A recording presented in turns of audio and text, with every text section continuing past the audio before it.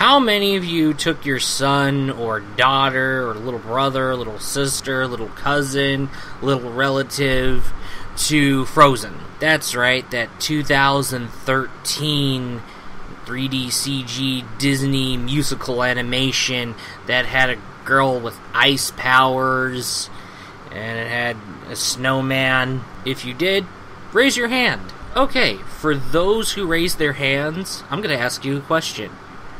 Boy, it backpedaled on your ass, didn't it?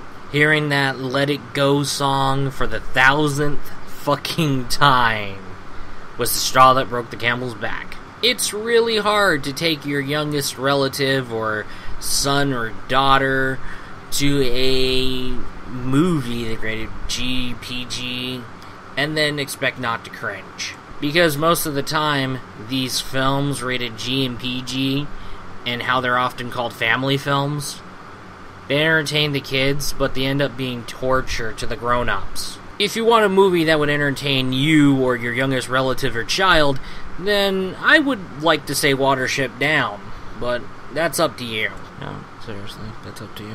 That's the thing with these family films.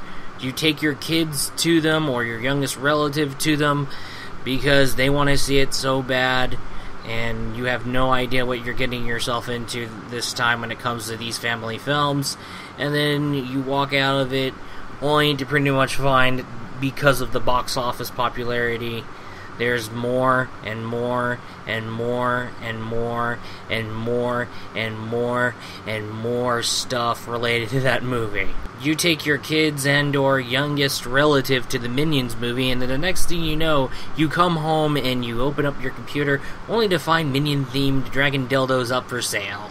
And now you're saying to yourself, this needs to stop now. I regret seeing this fucking movie. What the fuck have I done? In generalization, we do need to expect when it comes to family movie or family video game IPs, people tend to get a little savage. And when that happens, lines are going to be crossed. So do expect to run into a Frozen fanfiction that pretty much involve Elsa losing her feet, and of course she ends up using her knees to jerk off Hans. Or worse. However, at the same time, we gotta understand it's inevitable and fate beckons. And that's what we have to accept among ourselves, along with the consequences lying in wait for you.